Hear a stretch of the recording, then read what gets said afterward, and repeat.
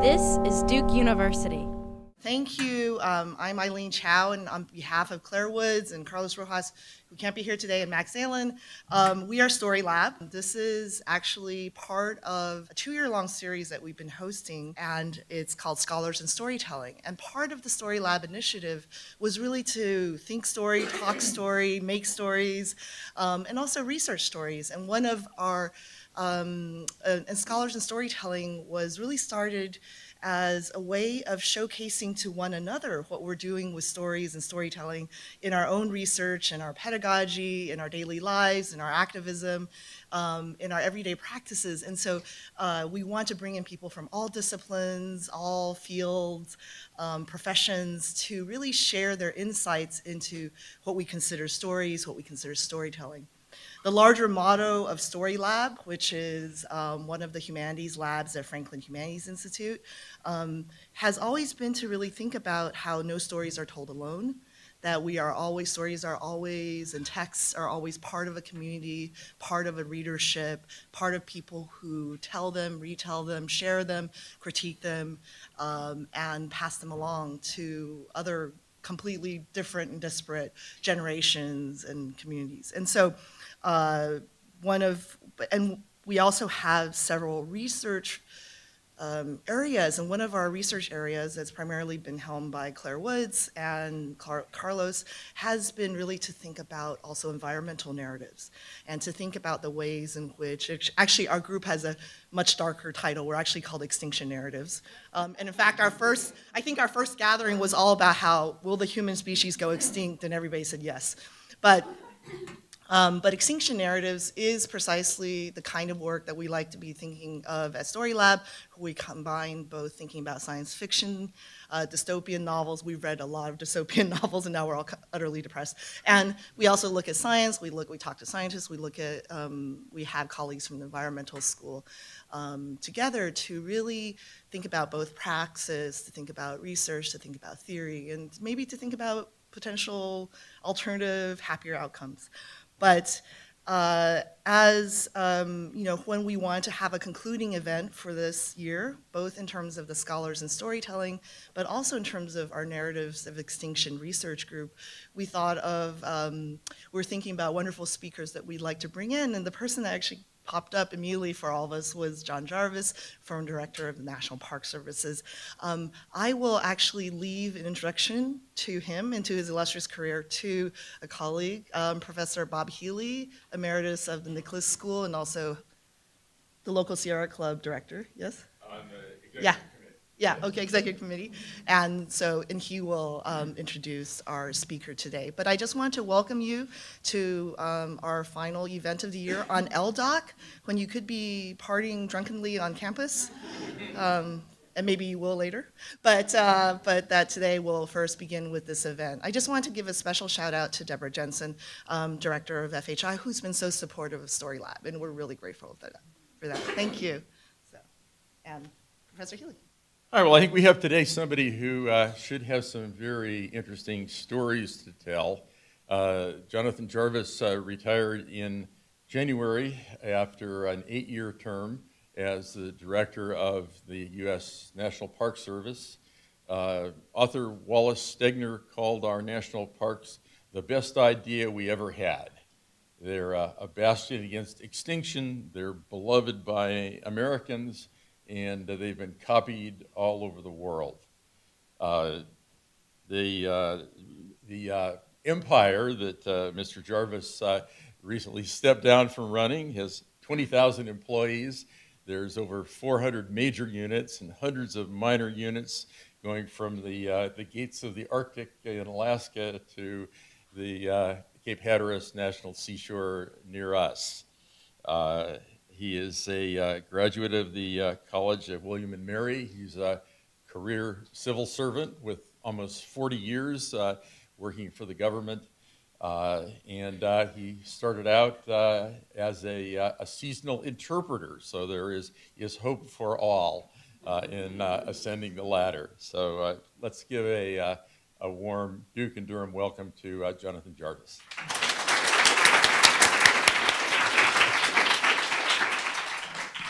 Uh, thanks, Bob, and uh, thank you to the Institute for the invitation and great hospitality and great food. And um, um, so I'm going to talk for maybe 25 minutes or something like that uh, with a program. Um, and then I hope we have lots of time for questions. So begin to be thinking about what you want to talk about. Um, and I'm open to, I no longer work for the government, so I can say just about anything.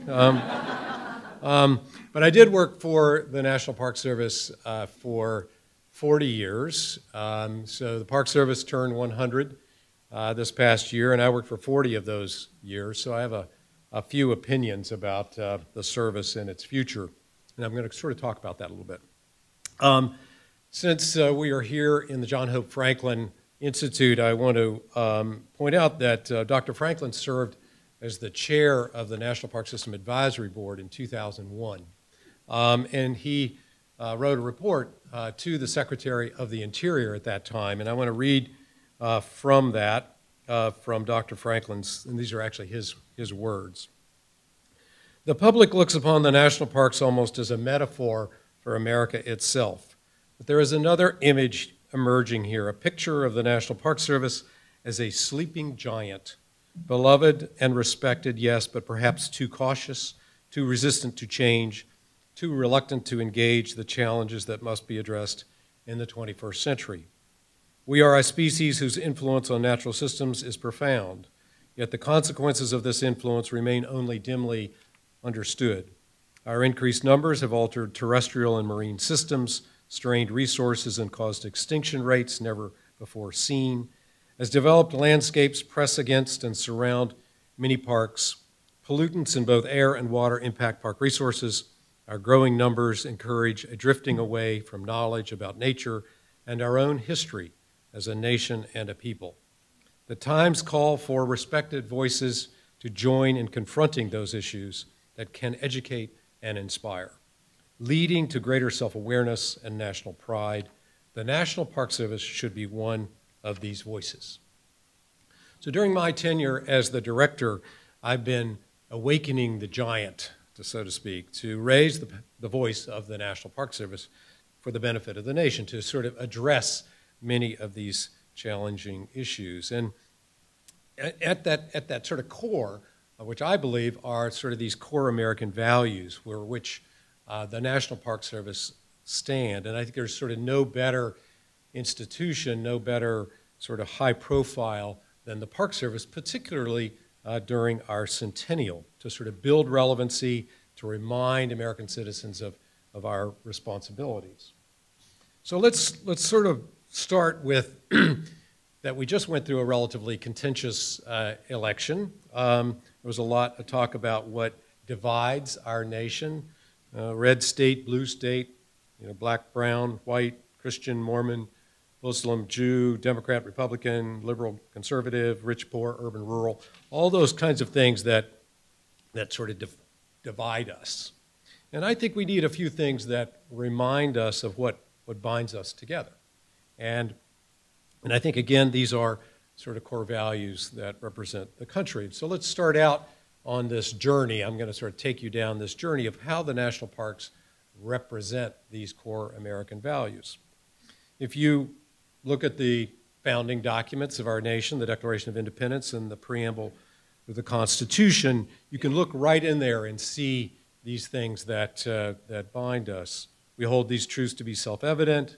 All men and women are created equal, endowed with their Creator with certain unalienable rights, such as life, liberty, and the pursuit of happiness.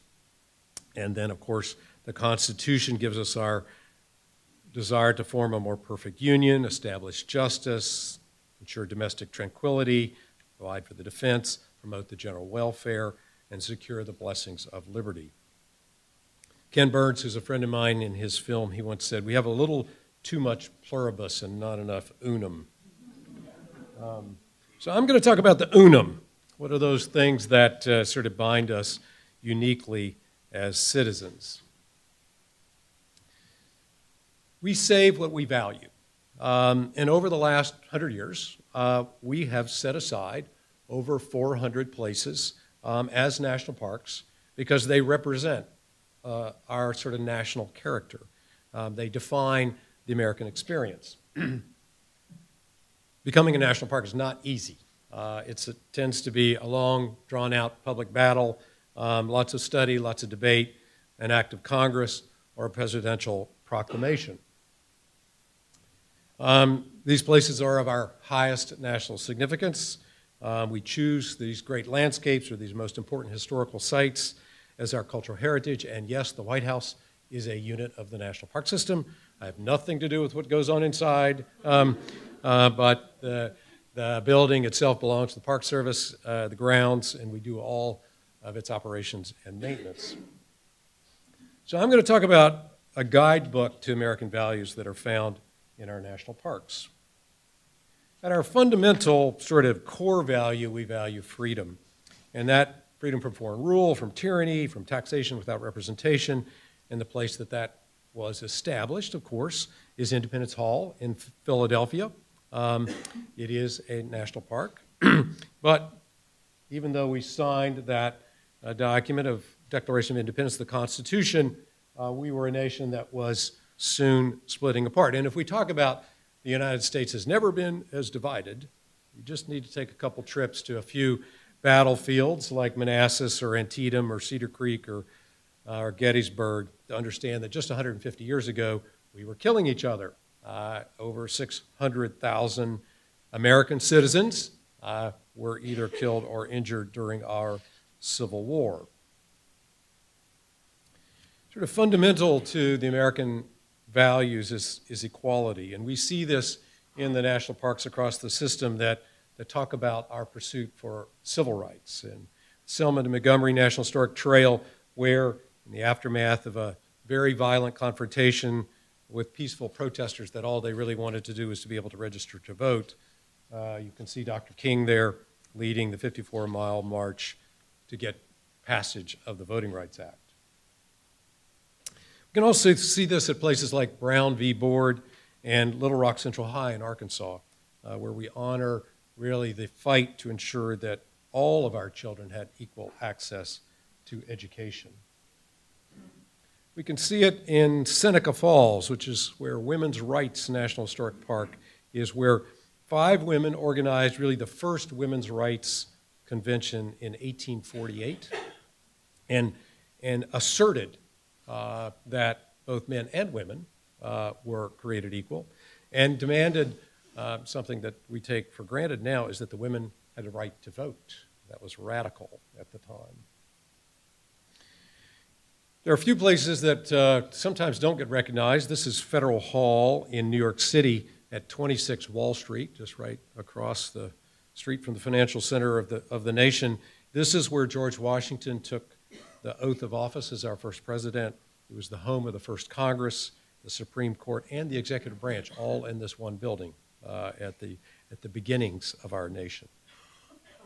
And right across the water is, uh, from Federal Hall, is probably the most recognized symbol of democracy and freedom in the world, the Statue of Liberty. And by her side, just down off to the to behind there, is Ellis Island as well.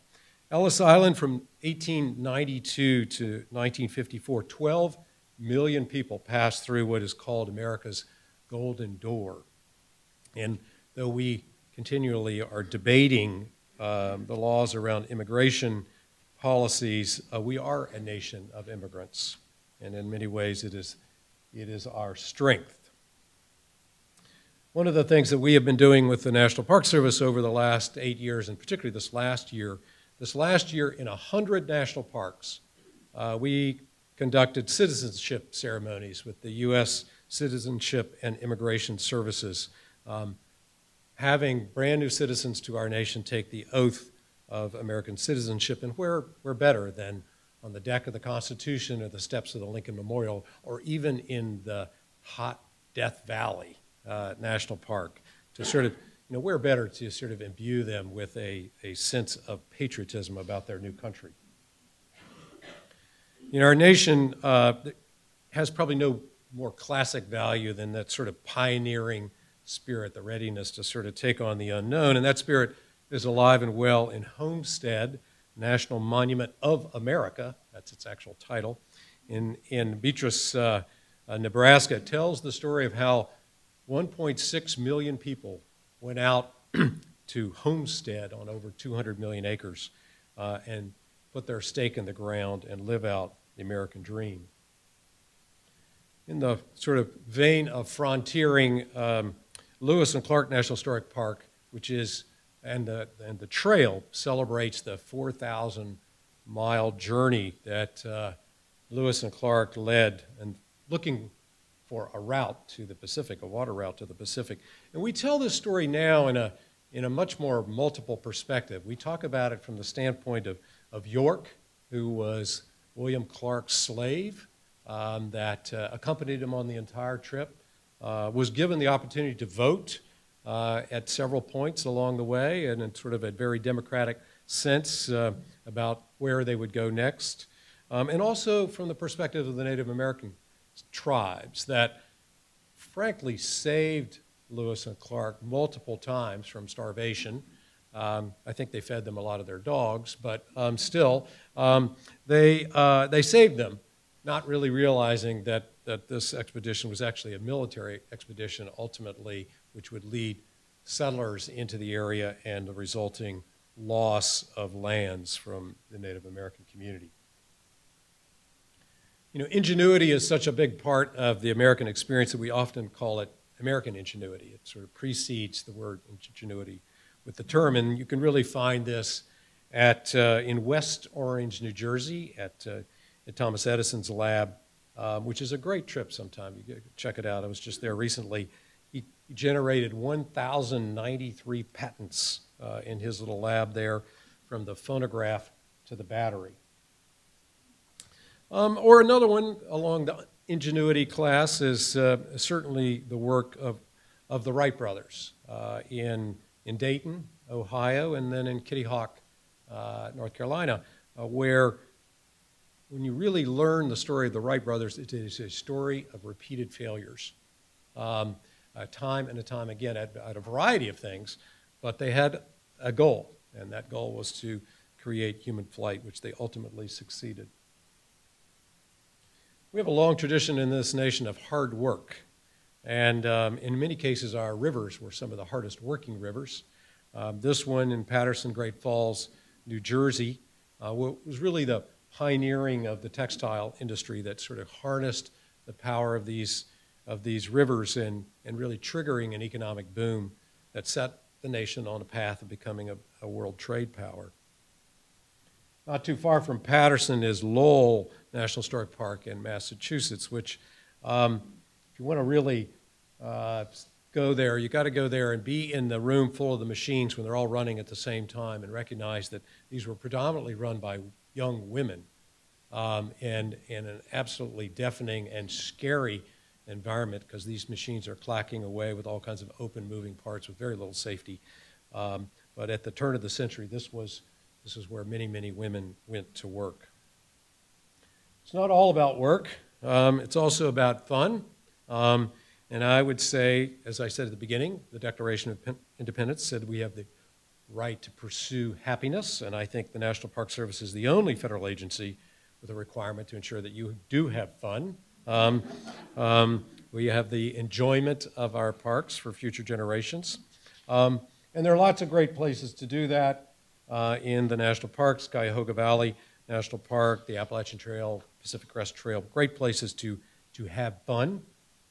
Um, or even some of our beaches, uh, Gateway National Recreation Area, Cape Hatteras, not too far from here.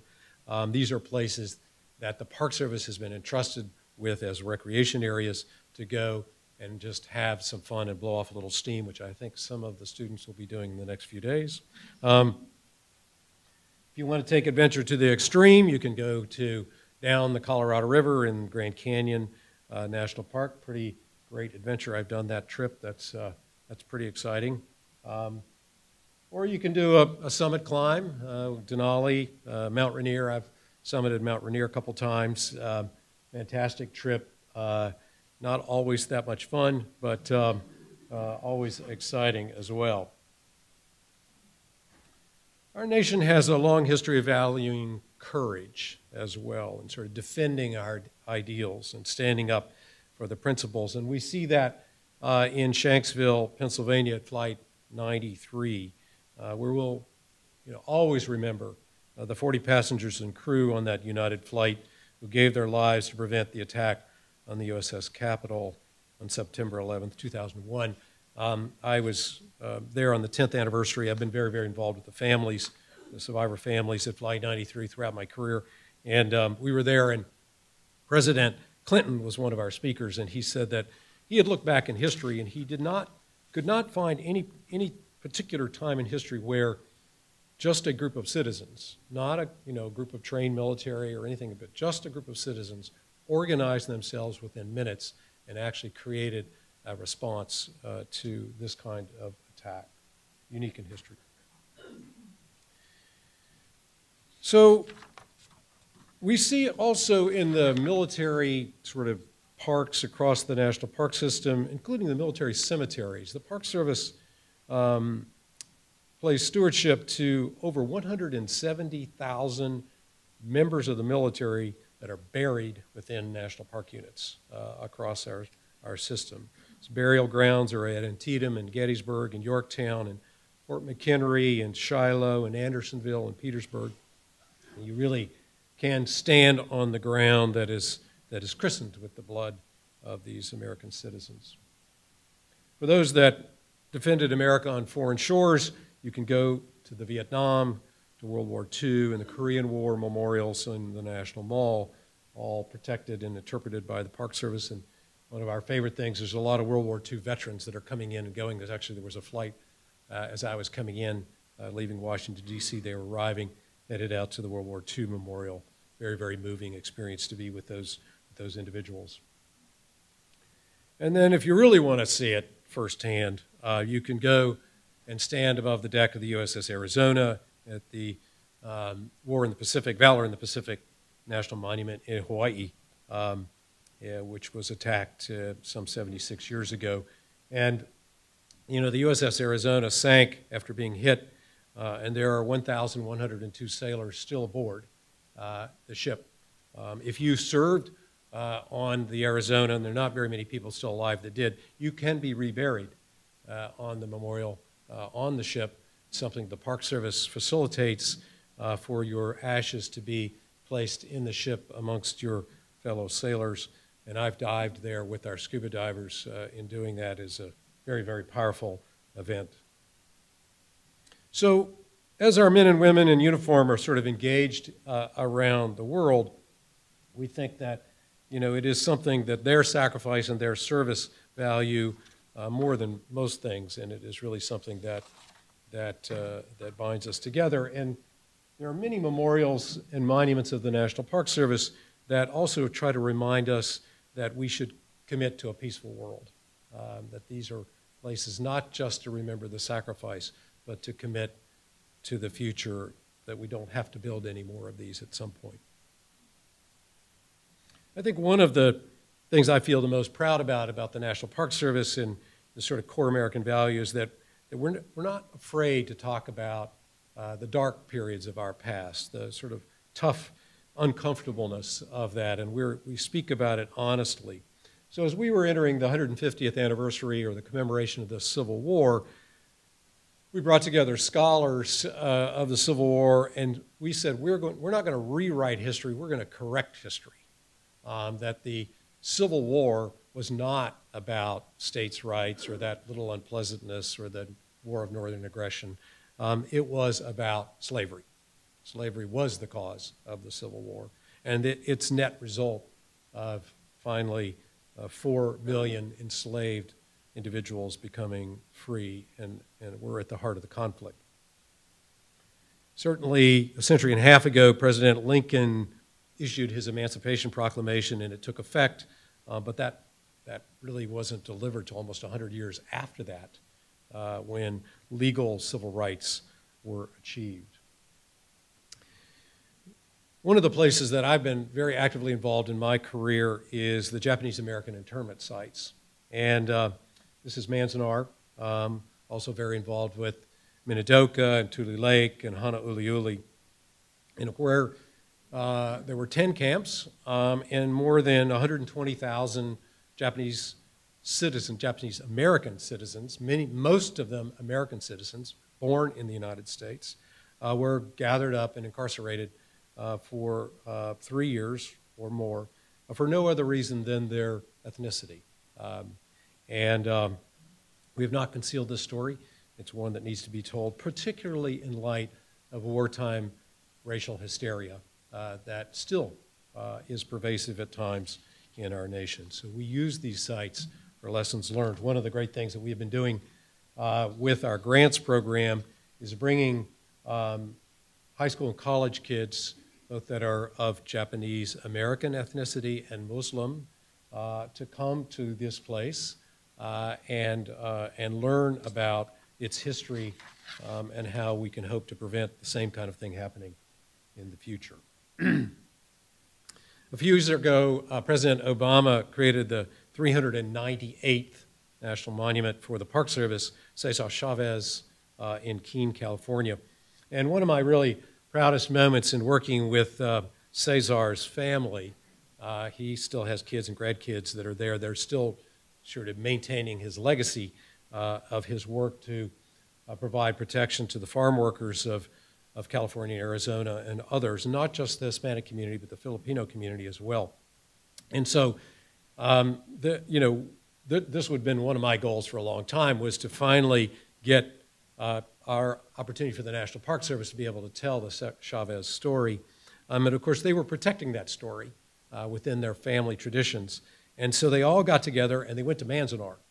Um, you know, not talking to us, of course. And they went up there and um, came back and said, we can trust the National Park Service. If they can tell that story at Manzanar, we can trust them with their father's story um, at, um, at Keene. And that confidence uh, has allowed us to pursue other stories, uh, under, undertold stories in America. So under President Obama, we have added national monuments for Harriet Tubman, for Belmont Paul Women's Equality, uh, for the Pullman Porter site in Chicago, uh, for Reconstruction at Penn Center, for Freedom Riders in Anniston, Alabama, uh, the Birmingham uh, bomb site, 16th Street Baptist Church, and Kelly Ingram Park uh, in Birmingham, and Stonewall, uh, the site of the LGBTQ sort of uprising in Greenwich Village in New York. All been added under Obama and are part of the national park system as well.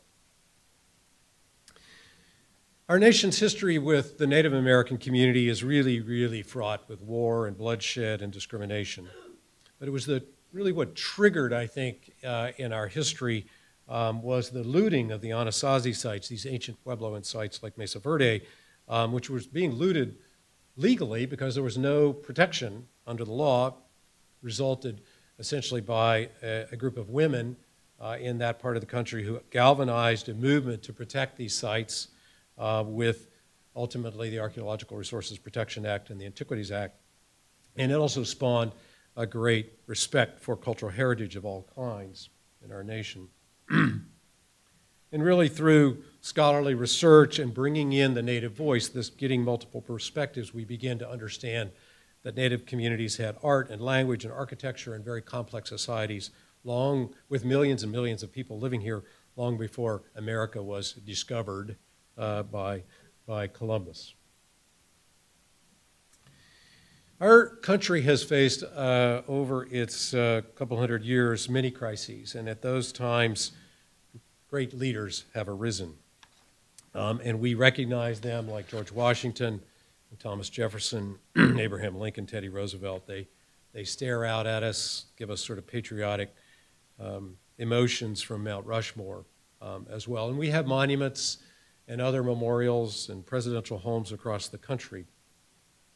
Not all about elected leaders, though. During my time as the director, we were able to dedicate the Dr. Martin Luther King Jr. Memorial, um, really the first memorial on the National Mall to an African American leader. You know, from that um, mountain of despair, Dr. King emerges as a stone of hope, literally steps away from where he stood on the steps of the Lincoln Memorial and delivered his I Have a Dream speech during the March on Washington for Jobs and Freedom. There are other lesser known folks out there like Colonel Charles Young, second African American to graduate from West Point, commanding officer of the Buffalo Soldiers, uh, who rightfully should have been promoted from colonel ultimately to general. He extraordinary record, um, but basically the military trumped up uh, an assertion that he was not healthy enough uh, to be promoted. It was clearly racism. Um, he was based in Ohio at the time. He got on his horse and rode to Washington D.C. Uh, from Ohio to show that he was uh, he was plenty healthy. Um, we uh, we got his home as a new national monument, Colonel Charles Young Buffalo Soldiers National Monument, also in this administration. So Ken Burns said that the, the national parks are the Declaration of Independence applied to the land. Essentially, you can stand in these incredible places, whether you're rich or poor, um, and, and appreciate that they belong to you. This is Mount Rainier National Park. I served as the superintendent there. As I mentioned, I climbed the mountains a few times. It's also a great example of what we're seeing from a climate change standpoint. Um, Rainier uh, is in the Cascades. Uh, it gets a lot of snow. Um, but what we have seen is a significant change in the way snow and snowpack uh, persist uh, on the Cascades, Rainier being a great example of that. Traditionally and historically, uh, it would begin to snow in the fall, get 1,000 inches of snow or more at Paradise um, which is mostly up the mountain. Um, and then in the spring, as this would, in the northwest, it would begin to rain, uh, and that snow would just sort of soak up all that rain like a great big sponge and then release it uh, throughout the summer into downstream flows. What we've seen as a result of global warming and climate change is that that event now we get rain on snow in the fall. And so there's not as much snowpack. And so what that rain does is actually melts the snow, and we have extraordinary flooding. And so facilities that have been existing on Mount Rainier for, for 100 years are just being scoured right out to bedrock. We had a campground, uh, one of our nicest little campgrounds called Sunshine Point because it was one of the places that in the spring uh, the sun really shone, which rarely does in the Northwest, but this was a great spot for it. Um, it was just completely obliterated. Uh, over $35 million worth of damage uh, with this kind of change to the, to the regimen um, of the park. So it's pretty hard to uh, not feel a little bit of a rush of pride uh, when you stand uh, along the rim of the Grand Canyon or in the Alpenglow, the Grand Tetons, or under the giant sequoias in, in, the, in the Sierras. These are, these are our cathedrals. And I think as Americans, we have this sort of strong bond with the land. We sort of identify it with it personally. We consider it part of our national character. And we understood this early on um, that we needed to protect it. We needed to create a conservation movement that would protect these kinds of places. And that is what Stegner called America's best idea. And some of it um, really started with some very early workings of George Perkins Marsh. Uh, he, was a, he was a writer and he thought a lot about conservation. Um, early conservation farming by Frederick Billings and the philanthropy of Laurance Rockefeller, and it's all embodied at this place in, in Woodstock, Vermont, uh, at the Marsh Billings Rockefeller National Historical Park. But when you go there, you're going to find out that the guys took all the credit, but the women did all the work. Um, all three of their wives were really at the core of this movement. The guys were off, you know, writing about it and taking all the credit as they typically do. One of the other unique things about conservation in the nation is that it, some of it began as a private enterprise. And so there were those that made a lot of money, um, you know, achieved the American dream, um, and they wanted to, to give back through protecting special places. And so the Rockefeller family is a great example. They basically donated almost all of the lands that created Acadia National Park. Um, and the same is true with the Virgin Islands National Park. The Rockefeller family basically bought most of the island of St. John and donated it to the National Park Service uh, for its preservation. So if you go there, have some fun, uh, but think about that from a conservation standpoint and from a private sector standpoint as well. During the centennial uh, of the National Park Service, we made a huge effort to engage the philanthropic community. Um, one of your uh, alumni, David Rubenstein, um, donated over $45 million uh, to the National Park Service.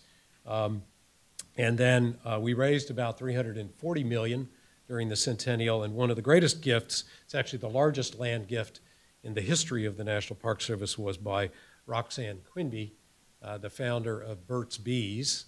Uh, probably some Burt's Bee product users in the room. Um, uh, she, uh, in her creation of the Burt's Bees company, um, discovered that she could buy land uh, in Maine, mostly cut over second growth forest in the northern Maine area next to Baxter, for about the same amount of money it cost her to ship her product. So the land was that cheap.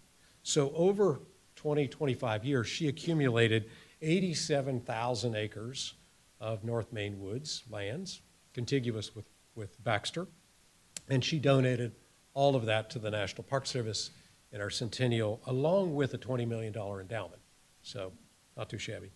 Um, so in my in my 40 years um, with the service, um, I have seen this sort of core value um, that of our sort of willingness to restrain ourselves. That from overwhelming places like Yellowstone um, or Yosemite, from you know what the rest of the nation, from technology, from development, um, and at their best, these places now, as we think about the future, really serve as sort of anchors. They are kind of nodes in a broader landscape. And how can we create something that connects them together into an ecosystem that is at least the functional equivalent of a much larger uh, protected area as well? So these places, you know, whether it's Shenandoah National Park or Zion National Park, they are, to me, a collective expression of who we are as a people. They are a mosaic of the things that we, we value about ourselves. And they often represent sort of where the, the fires rage the hottest in, a, in protecting those values as well. And we feel the commitment that we must create a connection to the next generation as we hand off the stewardship of these places, an intergenerational handoff to the millennial generation in particular, who must step up and take this. And we believe that Contact with these places builds relevancy, and relevancy leads to advocacy uh, for their protection. So, you know, I'm very proud of the, of the work of the National Park Service and our many partners that have been entrusted with this, with this obligation uh, to the American people to protect these places. So in 2016 was our 100th anniversary, and we went about it saying we weren't just going to have a big birthday cake and have a, a, big celebration, even though we did a lot of that. Um, but we were going to go about the centennial with a great deal of intentionality around connecting with and creating this next generation of visitors and advocates and supporters, not only for the national park system, but for the larger conservation movement as well as sort of the larger parks and public land estate uh, out there that is such so important to uh, our survival. The results uh, from our centennial pretty astonishing. I mean, we went about this in a very strong way. We had 16 billion media impressions. I have no idea what that means, but they tell me it's good. Um, the, um, our, our volunteer program went from 250,000 to 440,000 volunteers. Um, one in four millennials uh, we reached with our public awareness campaign, the Find Your Park campaign. There were over 3,000 events, books, movies, songs, poetry uh, uh, across the nation to celebrate the centennial. Congress uh, appropriated our largest budget in history and passed landmark bipartisan centennial legislation, which is kind of unheard of. Um, and visitation, um, we exceeded uh, 320 million visitors last year which is more than all of national football, national baseball, national basketball, soccer, NASCAR, and Disney combined.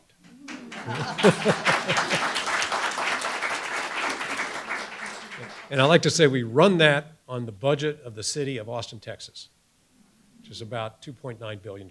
Um, so there was a lot to celebrate uh, in the centennial. Um, but um, we still need to be thinking about um, the future. It was not all looking back. It's all, it's all really looking forward. So we see, I think, at, at a very deep way, that we need to connect people to these places. We need to get kids and adults and millennials out into their parks and their public lands. Uh, and we think it's critical. It's critical for the social fabric of the nation. It's critical for conservation. It's critical for sustaining the environment that, that sustains us. Uh, it was also uh, an effort to create citizen science. Um, and we had the BioBlitzes, and we had every kid in a park. Um, we had so many different ways that we were connecting the next generation to understand the scientific stewardship that's going to be required uh, for future generations as well. So, in Washington, D.C., where I've, I've worked the last eight years, and one of my favorite places is the Lincoln Memorial. And our 16th president sits there in that big marble chair and he sort of stares out down that line of the National Mall past the Washington Monument to our, our first president, George Washington, and on in the horizon, into the horizon there you can see the U.S. Capitol where Congress deliberates the laws that govern the nation. And I remember, you know, Abraham Lincoln was, you know, was often called Honest Abe. but those that his critics suggested that um, he wasn't honest, but he was two-faced. And he responded, if I were two-faced, would I be wearing this one? Um, so inscribed on the wall, uh, if you've spent time in the Lincoln, is the Gettysburg Address on one side and the second inaugural address on the other side. Second inaugural address delivered only 41 days before he was assassinated at Ford's Theater, which is all part, also part of the park system. And I sometimes wonder what he's thinking uh, about our nation uh, the nation that he worked so hard to preserve. So I want to um, end there with, but, with an invitation uh, to each and every one of you to uh, get out there and find your park, uh, find some place in the National Park Service that, um, that means something to you, but don't go alone. Um, you need to bring a kid, you need to bring a millennial or a group of millennials out there and, and begin to talk about uh, what these places mean uh, to our nation uh, and to each and every one of you. So thank you, and I'll open it up for questions.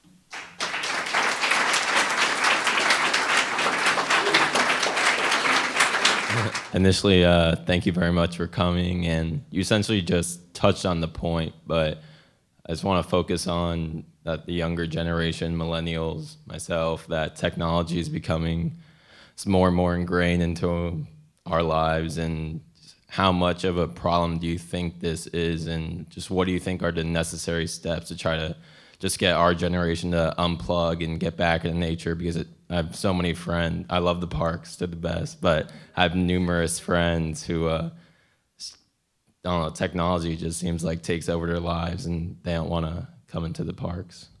So it's a great question, and it's a it's a really interesting question because when I I'm on the speaker circuit, and I'm off, often talked to sort of a traditional Park Servicey, you know, public lands crowd, which tends to be, you know, older. They're like, you know, tell those millennials to leave that leave that technology, you know, home.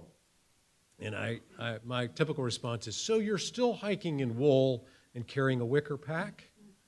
Uh, you know, uh, you're not your pack's not carbon fiber, and you're not using a little stove that's, you know.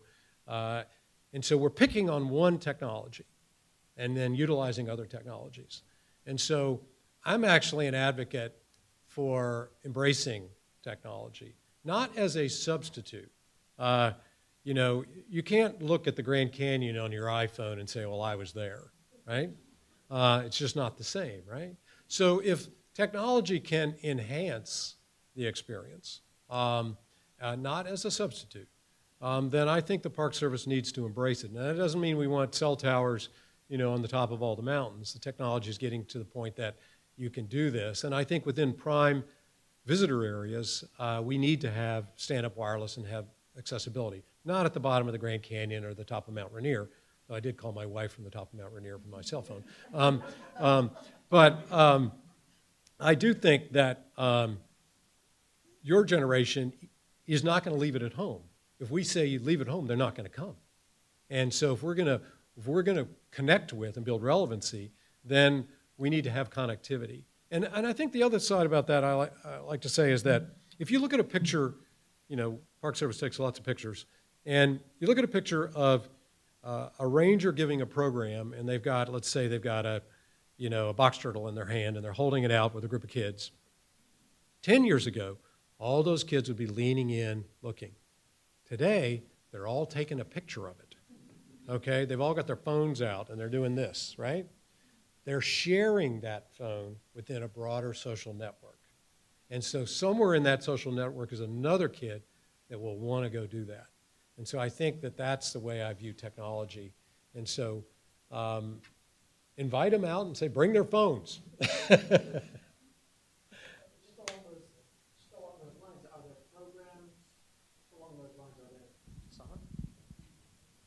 I'll talk loud. Talk. Uh, Are there programs to help people use their smartphone technology to engage with uh, different aspects of the parks? You know, here's where the glaciers were that you're looking at, and you can sort of, yeah. Yeah, Can you yeah, just talk about a- those? It's rapidly growing, that field. There's all kinds of, I mean, uh, it was a great one that actually won one of the awards when we, when it was the 50th anniversary of the March on Washington, um, when Dr. King delivered the I Have a Dream speech. You could literally stand on the mall with your phone and put yourself in the crowd 50 years ago. So you could actually look at the crowd as if you were in the crowd 50 years ago from various points on the mall. Um, and we're seeing more and more games, programs, and ability. Um, one of the uh, uh, app companies that we worked with during the uh, BioBlitzes is iNaturalist. And so iNaturalist is a crowdsourced uh, identification program. But now you can do stars, you can do leaves. I mean, there's so many different ways that you can deepen your knowledge about what you're experiencing uh, through technology.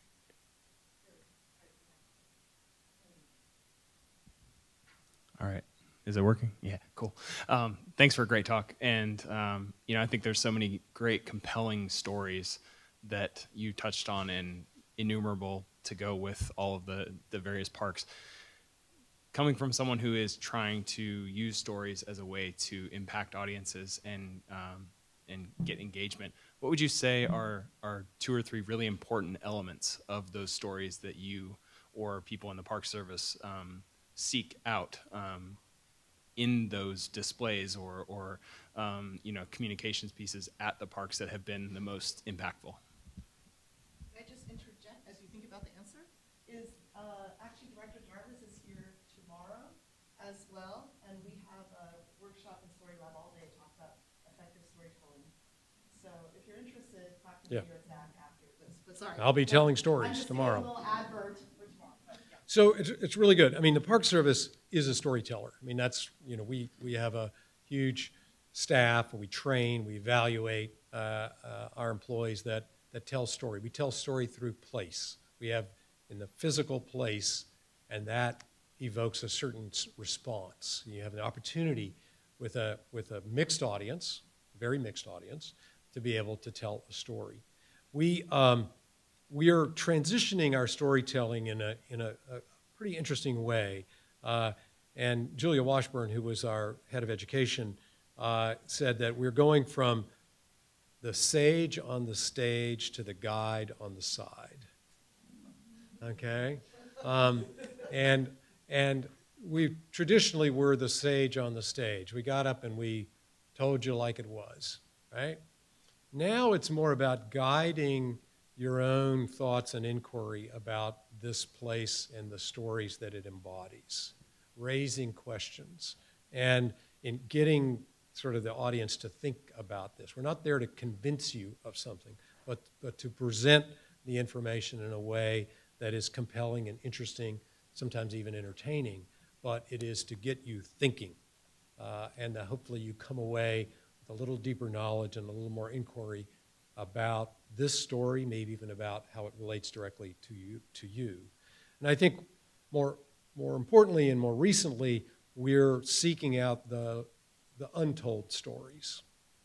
The stories of the LGBTQ, the stories of women, the stories of uh, minorities, uh, the, the, the dark, you know, difficult periods of our history, that, you know, lynchings and Reconstruction and uh, the internment of Japanese Americans and all, all of that. We feel that that is the story that needs to be told.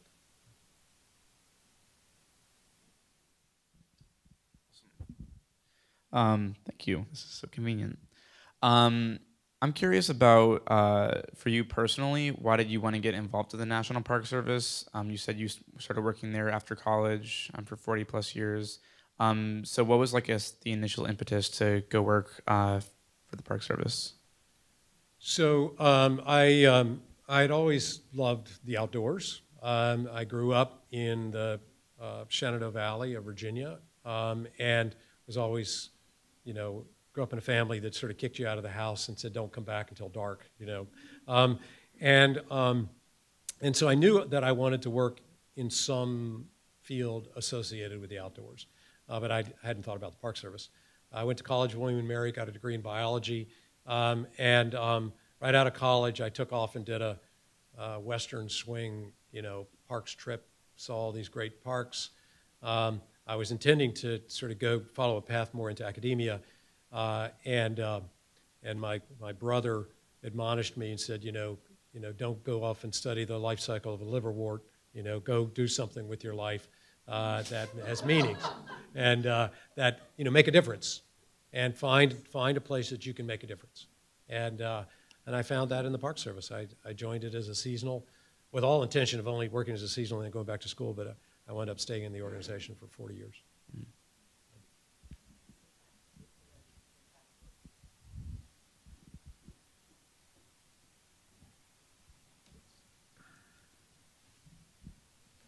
Hi, uh, thank you for the for a great talk. Um, I am a graduate student at the School of the Environment here at Duke, so um, I'm studying renewable energy. So you briefly touched on climate change at Mount Rainier, um, and I was wondering, and, and accepting uh, new technology. Are there any sorts of plans? I, I know several years ago you banned plastic bottles from the parks, and recently I was in the Grand Canyon and there was recycling everywhere. Um, are there any plans to incorporate uh, clean energy, and you know, in some way at the parks? Um, sure. Um, so we we have a um, sort of a four uh, prong approach to to climate change um, in the Park Service, um, and so um, one is science monitoring. So parks are probably the least stressed, or maybe the closest to, to natural systems we have left. So they're great monitors of climate change. So we have a major investment in in that area. We have a adaptation strategy, uh, which is about planning for the impacts of climate change, everything from looking at, you know, uh, corridors of connectivity or on our coastal environments, what's uphill, or our, in our cultural resources, how we document before we lose, those kinds of things, adapting. And I, I required by policy that every park that was going through management planning had to build that into their, their management plans. Um, there's an education side, uh, and I believe the Park Service has a responsibility and a role to talk about climate change in a place like Rainier or others where you can actually see it, you know, because public has a hard time sort of getting grips to it. And then the last but not least is the, our own mitigation of climate change, our own carbon footprint. And so we've done lots and lots of analyses on our carbon uh, footprint for the Park Service and what can we do. Um, and you know, within large national parks, we can we can do a lot, but we can't do like as much as you can do on other public lands. Uh, you would not put up a large solar array in Yosemite Valley. And you may not know it, but the top of the Alcatraz cell, cell block on Alcatraz Island is covered with solar panels. Um, and the maintenance shops at Joshua Tree are all covered with solar panels. And actually, Rainier has got solar panels in a lot of the maintenance shops and the like. And we're converting not only to solar, but to other renewable energies as much as possible. During the, the Obama administration, we had a, a very high priority on renewable energy. Uh, and so a lot of it was being sited on BLM lands. Um, and so we worked very, very closely with the Bureau of Land Management about standing up very, very large solar arrays, a lot of in the California desert, uh, the so-called uh, California Desert Renewable Energy Comprehensive Plan, the DRECP, uh, was uh, something we all were very, very actively engaged in. And then even gr buying green power where it is available as well. So the Park Service feels that we needed to be somewhat of an exemplar, but we really, because of either cultural landscapes or other you know, areas of protection, we really couldn't do it at, at sort of industrial scale inside parks. That would not be appropriate.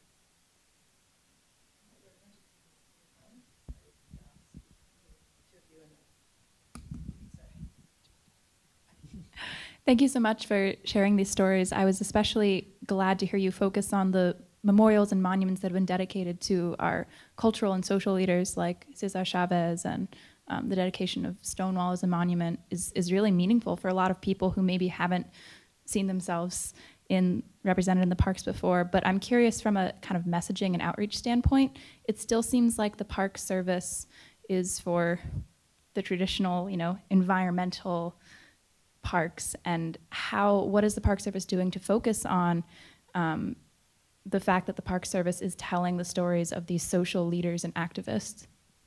Um, it's a great question. So, you know, um, sort of overcoming uh, the sort of psyche of the American people that thinks that all the national parks are out west and they all have big glaciers and mountains and bears and things like that, and that's not about them. One of the um, sort of um, components of the centennial was that the we hired through our foundation a Madison Avenue, New York marketing advertising firm, Grey Advertising, and they did some analysis. They did some um, survey work. They did a blography and others, and they said the Park Service, you have a great brand. You don't manage your brand, and you don't brand your work, um, and so the brand association, which is very strong and very positive, the brand association is with the big natural areas. And that, so what we needed to do is to begin to use that brand much more visibly uh, in the cultural side of the story, um, in our publications, in our social media, uh, in our media releases, and then physically on the ground. Um, I mean, I remember, you know, it was the uh, big celebration when we reopened the Statue of Liberty, and it was Good Morning America, and they said, "Thank you, New York City Parks, for what you've done." You know, and we're like, you know, you just want to smack them. You know, it's like they have nothing to do with this park. This is national park. You know, and but you know, it's just sort of overcoming these uh, sort of you know groupthink that goes on around it. But we're getting there.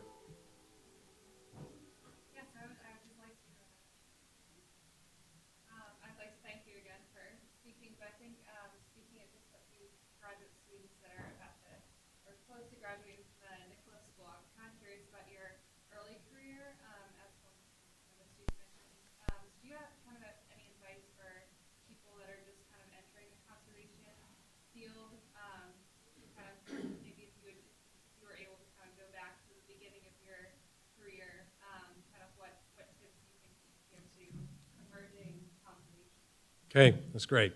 Um, so, um, um, a friend of mine and I are actually writing a book uh, that will be coming out next year on the future of conservation, and uh, and there'll be a lot of tips in that. But um, uh, because it, it, we're not, as opposed to the dystopian future, we're trying to per, per, we're trying to portray a positive future. That there are positives here, and that the positives lie in this next generation. Um, so I think things are, are pretty different right now than, than 40 years ago. Um, and certainly, you know, without casting too many aspersions on this administration, um, you know, hiring by the government is going to be very limited, if not zero, in the next. I mean, they're, they're trying to get rid of a significant portion of the federal, particularly conservation community, EPA, Park Service, Forest Service, BLM. You know, they got that, uh, that there'll be very little job opportunity in the next four years, I think, in that. They will have to rebuild at some point, though. Um, it, it, will come because it, it, will be, the public will demand it. And so this will be a dip. So what you want to be thinking about is if that's what you want to do, be preparing for that opportunity in four or more years. Uh, uh, yeah, yeah, maybe two. Um, um, um, and um, so to sort of get yourself uh, prepared, um, if, and I, I, can speak to the Park Service and maybe to the other to other agencies. You know, we we we love hiring people that have sort of multiple skills, not just one set of skills, but skills that of of both being in the outdoors, having some outdoor experiences, whatever they may be, um, and there are all kinds of conservation corps and youth corps and and uh, you know field uh, science and working with kids and you know outdoor leadership you know kinds of things that you can gain that that kind of level of experience. I think during this sort of down dump in the in the federal sector, the NGO community is going to rise, and I, so I think that conservation organizations, traditional and new ones, there are new conservation organizations emerging around environmental justice, around minority serving, you know, like out, uh, Outdoors Afro or Latino Outdoors that are reaching and connecting with uh, communities. There's a lot of great innovation going on in the urban park environments, things like the High Line in, in New York City, where parks are being created that we don't yet understand its, their relationship uh, to the broad, larger landscape, but they may be critical. I remember there was a park I visited in Chicago that had just been restored. It had been a side yard on the railroad where there were abandoned cars and, you know, it was just total trash. They re, community organized, repaired it, and it's now it has monarch butterflies stopping by. Um, so um, I think there's a whole field of restoration ecology out there to get involved in, um, and you know grassroots organization. Uh, I think so. There's a lots of plays to sort of build your your portfolio, uh, and I would look to build it kind of broadly um, because you, will come out of school with a fair amount of expertise in you know one or one or two things over this next few years, build it more broadly, and you'll be more attractive, both to the NGO community as well as to the, uh, to the agencies.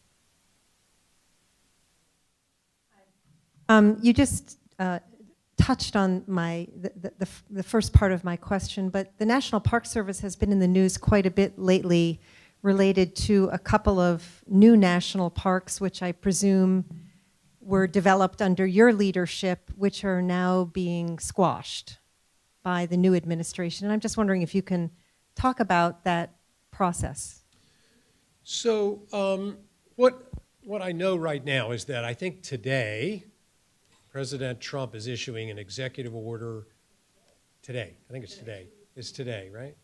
Yeah, he's, he's issuing an executive order uh, directing Secretary of Interior Ryan Zinke to do a review of all of the uses of the Antiquities Act back to President Clinton.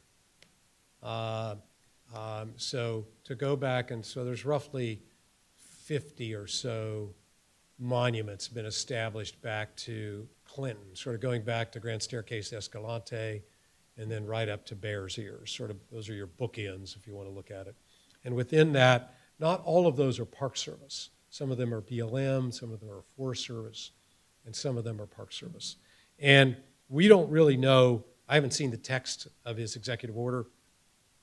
There's a, there's a really interesting legal discussion going on uh, in the broader legal community about whether or not the president actually has the power to de designate these sites. Congress certainly does, but whether the president can do it unilaterally is an open legal question.